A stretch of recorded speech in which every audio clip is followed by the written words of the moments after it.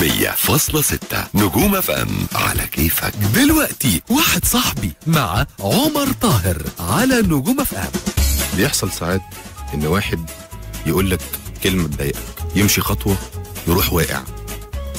فتهتف أنت من جواك وبصوت عالي شفت ربنا؟ بتسأله لو كان قدر يشوف ربنا في اللحظة دي. بتسأله لو كان قدر يشوف ربنا وهو بيعدل وبيجيب لك حقك. ليه دايما بنسأل سؤال شفت ربنا في اللحظة دي بس؟ ليه عينيك مش أوسع من كده؟ علشان تقدر تقول لنفسك أو لغيرك طول الوقت شفت ربنا. وأنت أصلا أصلا تقدر تشوفه طول الوقت.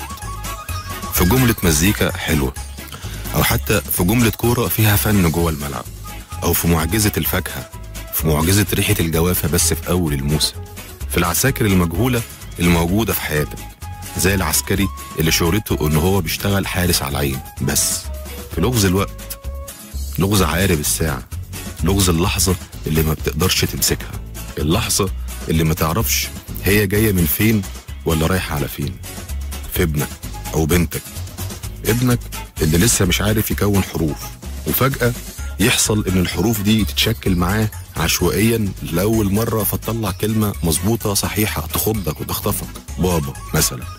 في معجزة الكلام في معجزة لولا ربنا علم سيدنا آدم الأسماء كنا يعني هنعيش نقول على كل حاجة تقابلنا البتاع في الفلوس اللي بتجري عليها في سكة وتقطع نفسك وفجأة تهل عليك من سكة تانية أكتر وبتعب أقل.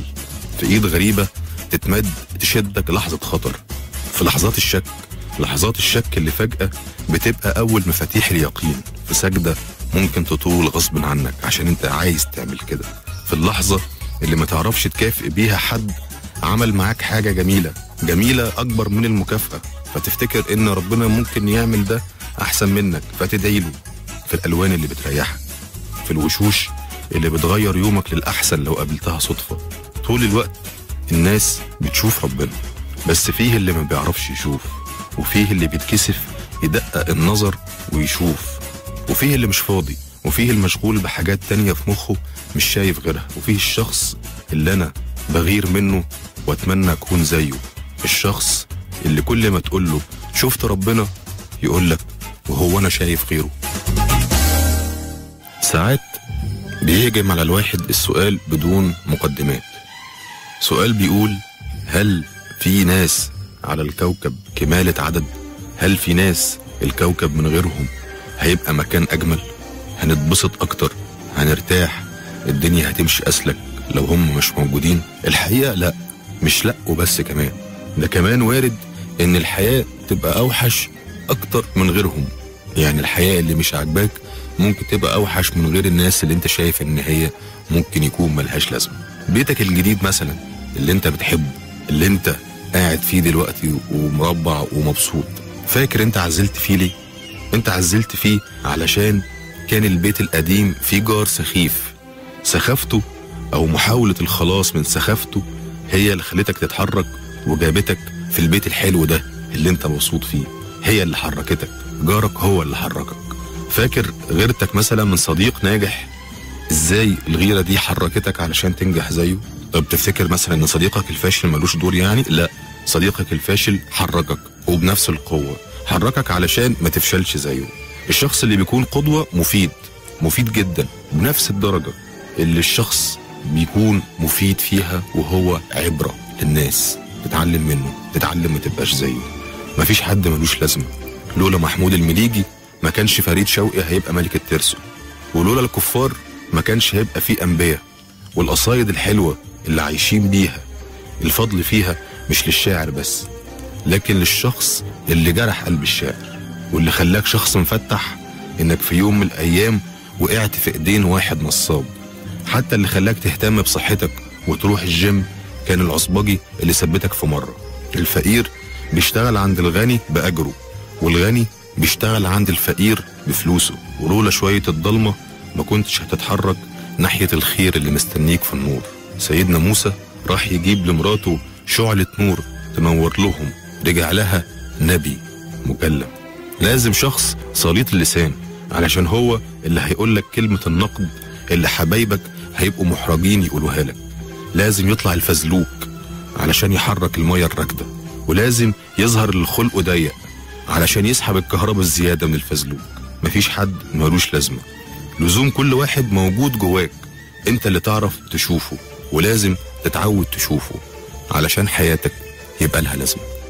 عمر الواحد ما هيقدر يعني يعرف أو يتخيل الكلمة الحلوة ممكن تاخد العالم لحد فين. مش مبالغة بس الكلمة الحلوة فعلا معجزة. ما تقلش عن معجزة إحياء الموتى. يعني الكلمة الحلوة قادرة إن هي تدي الروح لحاجة ميتة وتاخد بإيديها وتقوم وتكسر الدنيا. وده كلام لو رجعت للتاريخ ورجعت للي حواليك وفكرت فيه هتلاقي قد إيه إن كلمة مظبوطة حلوة آه، م- م- متذاكرة خدت بإيد حد ونقلته من مكان لمكان كلمة واحدة. دي حكاية مثلا عن الراجل العجوز اللي دخل المستشفى. الراجل العجوز دخل المستشفى وجه حظه مع راجل تاني حالته الصحية كانت وحشة قوي حالته الصحية كانت وحشة لدرجة إنه ما كانش بيقوم من السرير وكان في حالة من اليأس والإكتئاب صعبة جدا. صاحبنا كان بيحاول إنه يكلمه آه، يفتح معاه حوار بس من غير فايدة. يكلمه ما يردش عليه آه، يناقشه ما يضحكش. ابتدى صاحبنا بعد ما يئس يعني من الكلام معاه يقوم كل شوية يقوم يتمشى في الأوضة ويروح يقف في الشباك اللي في آخر الأوضة بالساعات وعلى وشه ابتسامة محافظ عليها طول الوقت وهو واقف قدام الشباك. الراجل الكئيب اللي نايم على طول في السرير ابتدى ياخد باله. في مرة الفضول حركه. فسأل صاحبنا قال له يعني انت بتروح تقف آه، في الشباك بالساعات هناك ومبتسم كده بتبص على إيه عندك؟ فصاحبنا قال له ببص على الجنينة اللي في ظهر المستشفى. قال له شايف إيه؟ قال له الجنينة مليانة ناس شجر جميل ورد مفتح آه وحق كام حوض ورد كده لونهم حلوة وحبيبة قاعدين مع بعض وطفلة قاعدة بتلعب مع الكلب بتاعها. وراجل قاعد بيقرا في الجورنان ومستمتع بالشمس وجنبه حفيده. آه، جو لطيف والشمس طالعة والأجواء لطيفة جدا. جو يعني مفرح فبقعد أستمتع بيه يعني. فالراجل الكئيب اللي في السرير لأول مرة كده إيه بقه اتحرك ملي يعني نص ابتسامة كده. وابتدى كل شوية يقول لصاحبنا روح عند الشباك كده بص لنا كده شوف في إيه النهارده كده واحكي لنا المشهد عامل إيه. فصاحبنا يروح ويقف قدام الشباك ويبتدي كل شوية يحكي للراجل حاجات اللي بيشوفها اللي بتفتح نفس الراجل الكئيب بتفتح نفسه للحياة وبتسحب اليأس من روحه واحدة واحدة بالتدريج. صحة الراجل الكئيب اتحسنت فرفش شوية يعني. بفعل المشاهد اللي كان صاحبنا عمال يحكيها له. وفي يوم صحي بدري قبل صاحبنا وقام الراجل الكئيب قرر لأول مرة إنه يقوم من السرير ويتفرج على المشاهد الجميلة دي بنفسه قام دخل الحمام وغسل وشه وغير هدومه وبقى في مشرق واتحرك ومشي خطوة في التانية في التالتة ووصل لحد الشباك وابتدى يحس إن هو رجع للحياة تاني بيتحرك وقايم والدنيا لطيفة مشي لحد الشباك وصل لحد الشباك ومع كل خطوة كان بيحس إن هو بقى أحسن وكان تمسكه بالحياة بيزيد يعني. لحد ما وصل للشباك حاش الستاير بيبص لقى الشباك بيطل على حيطة في منور الشباك اللي كان رايح له وفاكر إن هو يعني آه زي ما كان صاحبنا بيحكي لقاه يعني شباك بيبص على حيطة سد في منور فاندهش واتخض كده في الأول بس فهم الإفيه فهم الملعوب فهم إن صاحبنا كان بيعالجه بطريقته فهم إن صاحبنا كان بيغذيه بمشاهد حلوة في خياله بكلمة حلوة تصحصحه تحرك روحه. فابتسم لأول مرة وحس بالانشراح وبص ل... واتحرك لصاحبنا اللي كان نايم وهزه كده وصحاه قال له اصحى فصاحبنا صحي لقى الراجل ده واقف دقنه محلوقة ووشه نضيف ومغير هدومه وبيضحك له وفهم الافيه صاحبنا ابتسم له وقال له الحمد لله على السلامة. أينشتاين العالم الكبير قدر إن هو يحل مسائل كتير مسائل كتير معقدة آه، فشلت البشرية إن هي آه، تفكر فيها أصلا مش تلاقي لها إجابة. لكن بينما آه، أينشتاين العالم الكبير في فراش الموت قرب منه واحد من تلاميذه وساله عن المسألة أو المعادلة اللي أينشتاين آه، فشل في حلها وبيقر إن هو آه، عجز عن حلها يعني. فأينشتاين بص له وما فكرش كتير وبسرعة بديهة وبحضور صافي جدا وف- وفي ملي من الثانية قال له المعادلة اللي أنا ما عرفتش أحلها لحد وأنا بموت دلوقتي إنه عمري ما عرفت الستات عايزة إيه. طبعا ده أينشتاين الذهنية العظيمة الكبيرة. غالبا كان بيقول الموضوع ده آه، يعني بالنيابة عن آه، فشله في المربع ده في حياته يعني. طبعا دي وجهة نظر ناس كتير. في ناس شايفة إنه آه، الست يعني آه، أو ال- ال- المرأة عموما يعني في ناس تقول كده إن إن ال- المرأة زي جهاز الكمبيوتر يعني محدش يقدر يفه- يفهمه غير لو حد دخل جواه. يعني ده لازم تخش جوه الكمبيوتر وتشوف الحاجات بتتحرك جواها إزاي جوه الكمبيوتر إزاي علشان تفهم يعني. والرد على وجهة النظر دي إنه النصيحة يعني اللي بتتقال دايما إنه طيب خلاص أنت اتعاملت مع إن الست جهاز كمبيوتر مش هتفهمه غير لو دخلت جواه طيب لأ عشان تتعامل مع الجهاز صح وتحافظ عليه وتحافظ ويحافظ عليك امشي على الكتالوج. امشي على الكتالوج من غير اعتراض. امشي على الكتالوج من غير فلسفة. امشي على الكتالوج من غير آه آه، يعني تأليف. لازم تفتح كده النشرة الداخلية آه تبص فيها. حتى لو التعليمات اللي في النشرة الداخلية لا تروق لك أو مش عاجباك أو يعني مش مقتنع بيها لا. يعني خلي وجهة نظر حضرتك على جنب شوية. لأنه آه لو يعني اجتهدت إنك أنت تألف طريقة إنك أنت يعني تصيع إنك أنت تقلب دماغ الحاجات مش هتطلع بحاجة. كل الكتالوجات بكل اللغات في كل الأديان بتنصحك بحاجات صغيرة جدا. بتنصحك اولا بالرفق في التعامل. يعني الكمبيوتر اللي عندك ده تتعامل معاه برفق. دي نمرة واحد.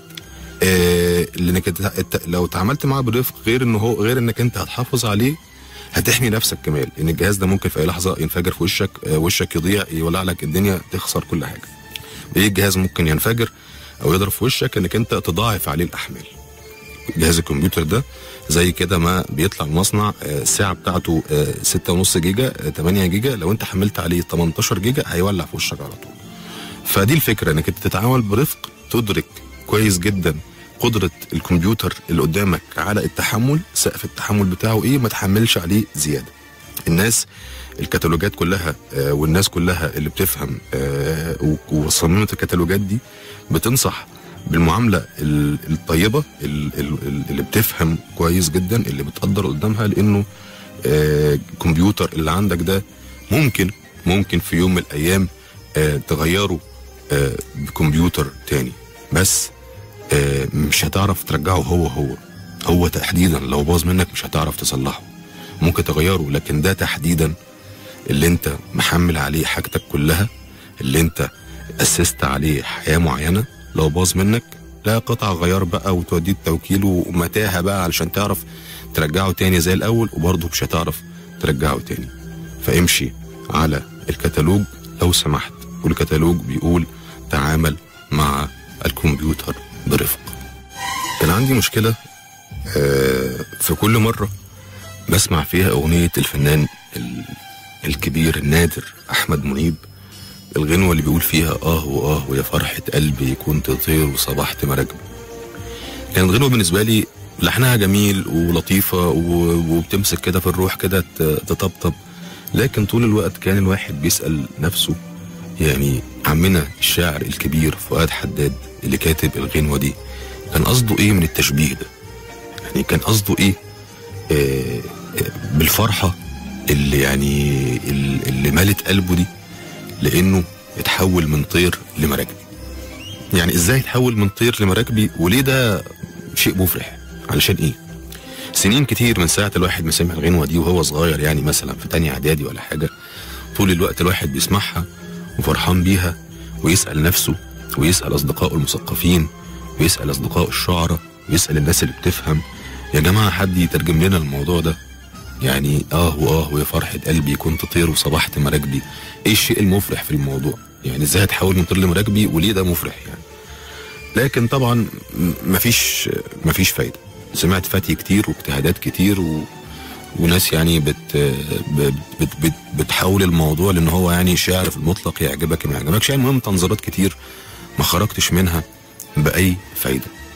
لحد ما جيت في يوم واقف في البلكونة بالليل آه، بنتي المولودة آه، جديدة اللي عمرها شهرين ثلاثة صاحية آه، متيقظة بوحشية آه، مالية الدنيا صريخ وعياط وانفعالات ونرفزة وداخلين على الفجر خلاص ومامتها يعني بسببها مطبقة بقالها يومين فأنا قررت إن آخد البنت يعني علشان أريح مامتها آه، شوية تاخد نفسها تخطف لها ساعة نوم تسترد بيها وعيها يعني.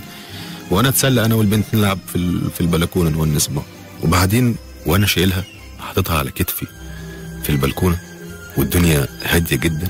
فجأة ما لقيتش في بالي غنوة أغنيها لها أو نسها بيها غير غنوة آه واه ويا فرحة قلبي كنت طير وصبحت ملك في اللحظة دي بس وبدون مقدمات وبدون أي سابق يعني آه، حاجة تفرش لك ال- ال- ال- الحل يعني. لقيت نفسي بقول لعم أحمد منيب والعم آه، فؤاد حداد آه شكرا. أنا فهمتكم. أنا في اللحظة دي وأنا كبير كده فهمت يعني إيه كنت طير وصبحت مراكبي وليه ده شيء مفرح.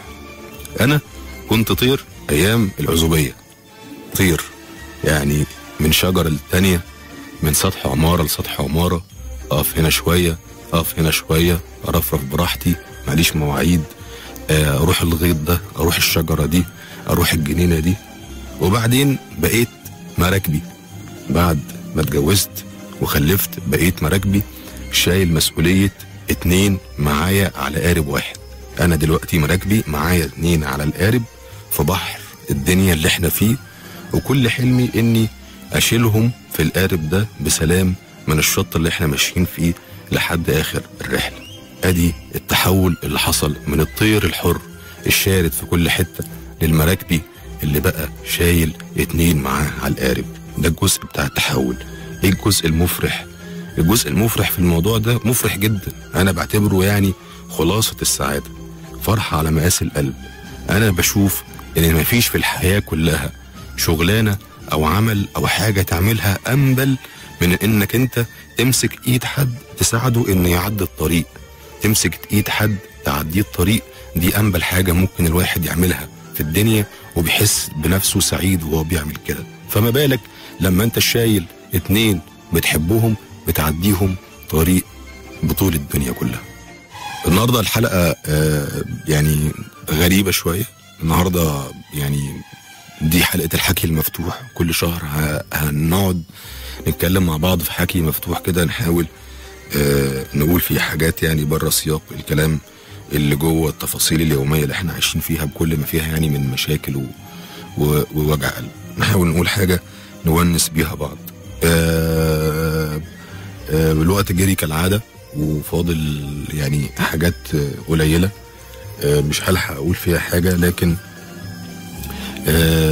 افتكرت روشيتا آه، كانت آه، آه، كنت لسه يعني بتكلم فيها مع حد من أربع خمس أيام وقال لي الروشيتا دي مصدرها إيه؟ فقلت له الروشيتا دي مصدرها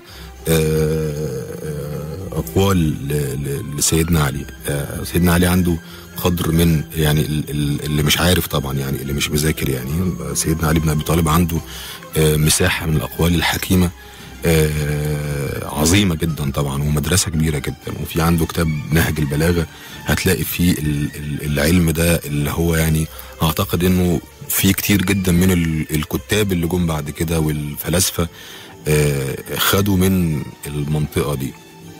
لأنه كان بيقول الحاجات شديدة الاختزال آه، عميقة المعنى البخل عار الصبر شجاعة الزهد ثروة آه، الصدقة دواء نعم القرين الرضا آه، صدر العاقل صندوق سره آه، كان بيقول إن أفضل الزهد إخفاء الزهد كان بيقول إن فاعل الخير خير منه وفاعل الشر شر منه يعني أنت أحسن من الخير اللي بتعمله أو أنت أشر من الشر اللي بتعمله وكان بيقول من أطاء الأمل أساء العمل. يعني لما يعدي عليك وقت طويل جدا وأنت مستني إن الأماني تتحقق يبقى أنت اشتغلت غلط. أنت أملك طال زيادة عن اللزوم فده معناه إنك أسأت العمل إنك أنت اشتغلت غلط. فعدى عليك وقت مستني نتيجة عمرها ما هتحصل. آه، كان بيقول إنه لسان العاقل خلف قلبه. يعني أنت العاقل هو ال- اللي لسانه بيطلع يعني ورا قلبه. ورا قلبه ده معنى إيه؟ معنى إن هو حتى لو هيقول لك كلمة فيها نقد حتى لو هيقول لك كلمة صريحة بتعدي على مشاعره بتعدي على آه على قدرته على إنه تبقى الكلمة حتى لو فيها نقد تبقى فيها قدر من الرحمة والطبطبة يعني. كان دايما يحذرنا يقول الحذر الحذر الحذر الحذر فقد ستر وكأنه غفر. يعني مش علشان اتسترت المرة دي يعني فخلاص آه، لا ده هو يعني كأنه غفر. فالحذر الحذر في المرة الجاية يعني ما تاخدش على كده. آه، كان بيقول إنه آه، إن الكرم ال- يعني الكرم الحق ما كان ابتداء منك أما ما كان عن مسألة فهو فرار من الذنب. يعني الشخص الكريم هو اللي بيدي من غير ما يطلب منه. يعني الشخص الكريم ده اللي بيدي قبل ما يطلب منه. لما أنت بتدي بعد ما يطلب يبقى أنت بتدي علشان ما حدش قالك حاجة. فده الفرق يعني. كان بيقول من حذرك كمان بشرك وكان بيقول آه، طبعا طول الوقت إنه آه، آه، من ايقن بالخلف جاد بالعطية. يعني أنت لما بتطلع حاجة أو لما بتعمل خير أو لما بتاخد من عندك وتدي حد وأنت واثق إنه راجع لك راجع لك هتدي بسلاسة وببصر وهترجع لك. يعني أنت أنت اللي أنت اللي بتعمل القانون وأنت اللي بتط- اللي بتطبقه يعني. وأكتر حاجة بحبها آه، من اقواله رضي الله عنه فكرة إنه التودد نصف العقل. التودد نصف العقل. يعني أنت قدرتك على التودد للناس وكسب محبتهم ده نص العقل وده نص الحكمة. أشوفكم على خير بإذن الله الأسبوع اللي جاي والأسبوع اللي جاي هيبقى عندنا آه، أفكار جديدة وحاجات جديدة هنتكلم فيها بالتفصيل. أشوفكم على خير. سلام.